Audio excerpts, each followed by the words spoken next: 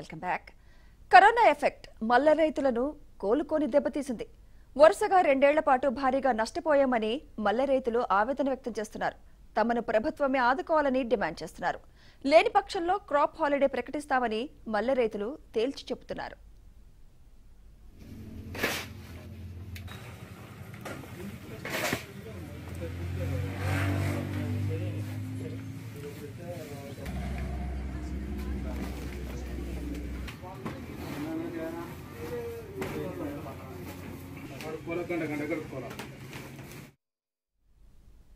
కర్నూలు జిల్లా కల్లూరు మండలం మల్లె సాగుకు కేర్ ఆఫ్ అడ్రస్. మండలంలోని పలు గ్రామాల్లో దాదాపు పదిహేను వందల ఎకరాల్లో మల్లె సాగవుతోంది. దాదాపు ముప్పై ఏళ్ళ నుంచి ఇక్కడ రైతులు మల్లెను సాగు చేస్తున్నారు. అయితే గత ఏడాది మల్లెపూల సాగుపై కరోనా ఎఫెక్ట్ పడింది. ఎగుమతులు నిలిచిపోవడంతో రైతులు ఎన్నడూ లేని విధంగా నష్టాల్లో కూరుకుపోయారు. గత ఏడాది పంట అధికంగా ఉన్నా కొనేవారు లేకపోవడంతో రైతులు మల్లెపూలను పొలంలోనే వదిలేశారు.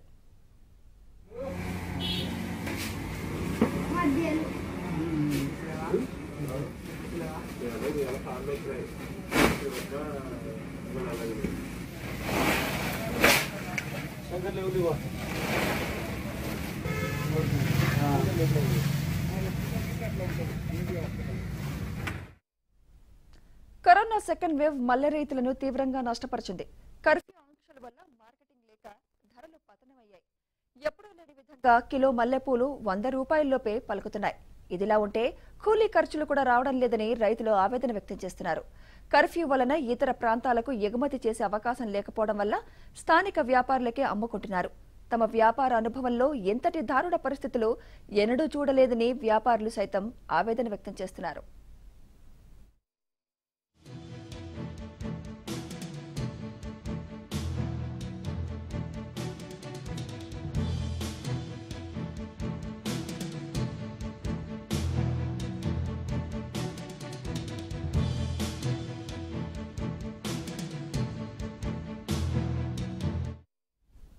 కనీసం కూలీ ఖర్చులు కూడా రాకపోవడంతో రైతులు మల్లెపూలను పొలాల్లోనే వదిలేశారు. దీంతో మల్లెపూల చెట్లపై నుంచి రాలిపోతున్నాయి. దీంతో మల్లె చెట్లకు చీడపీడలు సోకే అవకాశం ఉందని వాటిని కాపాడుకోవడం కోసం అదనంగా ఖర్చు చేయాల్సి వస్తోందని రైతులు చెప్తున్నారు.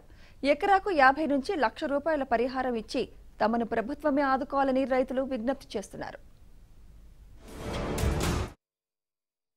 చేసేసి నేడు కరోనా వల్ల చాలా దెబ్బతిన్నారు రైతులు.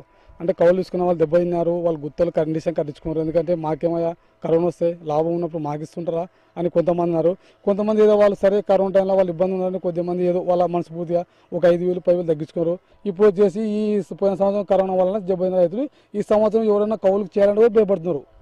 ఇట్లా లాక్డౌన్ రెండు సంవత్సరాల నుంచి కన్యగా దృష్టి కన్యగా మళ్ళీ తొట్లు అంటే తీసుకొచ్చి వేసింది. లేబర్కి చూస్తే అది వాళ్ళకి పది గంటలకి తెప్పి రెండు వందలు ఇవ్వాలంటే కాదు పరిస్థితి. కిలోలు తెంపితే కిలో నలభై రూపాయలు అంటే ఈడు వేసేది నలభై రూపాయలు యాభై రూపాయలకి వేస్తున్నాడు.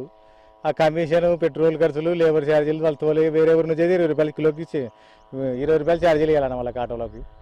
ఇంకా అందుకు ఈ సెదగాక ఎట్టుకున్న ఎక్కడ తెంపుకుంటారో బంద్ చేస్తున్నారు అంతే. రాలిపోతే ఏం చేస్తావు? చెట్టు కూడా అంటే రాలిపోతే కూడా చెట్టుకు రోగం వస్తుంది. మళ్ళీ దానికి కూడా ఎఫెక్ట్ మళ్ళీ మందు స్పేర్ కొట్టాలా? ఈ లాక్డౌన్ పోతుందేమో మళ్ళీ వచ్చేసారి పంట బాగుంటుంది వచ్చేసారి పంట బాగుంటుంది అని ఇట్లనే రెండు సంవత్సరాలు నడుస్తుంది. కానీ ఈ సంవత్సరంతో కన్నా రైతుగా కన్నగా సేద కాకుండా అయిపోయింది పరిస్థితి. లాభాలు ఏం లేవు. అడ్వాన్స్ కమిషన్ లేదు నష్టం అంతా నష్ట వ్యాపారం ఎక్కువ ఉంది. ఇబ్బందులు లేదని లాక్డౌన్ నుంచి ఇబ్బందులు ఎక్కువ. ట్రాఫిక్ పూలు తీసుకోవడం లేదు. కొనుక్కునే వాళ్ళు సేల్స్ సరిగా లేదు. అదొకటి. ఎక్కడ పోయినా ట్రాఫిక్ బంద్ చేస్తున్నారు పోలీసు వాళ్ళంతా. రాపడం ఎన్నిక పంపించడం అది ఎక్కువ చేస్తున్నారు. ఆ టయానికి కూడా రేటు వచ్చేసి అరవై నుంచి వంద లోపే వేస్తున్నారు కాబట్టి తెంపిన కూలీలకు వెళ్ళకపోవడంతో ఊరు వాళ్ళకే ఉపాధి దొరకట్లేదు కాబట్టి ఇతర గ్రామాల నుంచి ఈ గ్రామాలకి రావట్లేదు ఎవరు. ఇదే పరిస్థితి ఇంకో సంవత్సరం కన్నా కొనసాగితే మళ్ళా రైతు అంటే గతంలో ఈ ఊరు వచ్చేసి తమలపాకులకు ఫేమస్ అనేవాళ్ళు. ఈ రోజు ఈ ఊర్లో ఒక సెంటు పొలంలో కూడా తమలపాకులు లేవు. ఇట్లాంటి పరిస్థితి మల్లెపూల కూడా జరుగుతుందని మేము అనుకుంటున్నాం. అంటే రాబోయే రోజుల్లో మల్లెపూలు కూడా లేకుండా ఇతర పంటలకి వాణిజ్య పంటలకు వెళ్ళిపోతారేమో అని చెప్పేసి పరిస్థితి ఉంది. నష్టప నష్టాల పాలవుతున్నారు కాబట్టి మల్ల రైతులకంతా కూడా ప్రభుత్వం నుంచి ఒక ఇతర పంటలకు పండించినట్లుగా పత్తి కంది శనగ పంటలకు ఇచ్చినట్లుగా మల్లెపూలకు కూడా నష్టపరిహారంగా యాభై నుంచి లక్ష రూపాయల దాకా ఎకరాకు ఇచ్చినట్లయితే మల్లె రైతులను ఆదుకున్న వాళ్ళు అవుతారని నేను తెలియజేస్తున్నాను.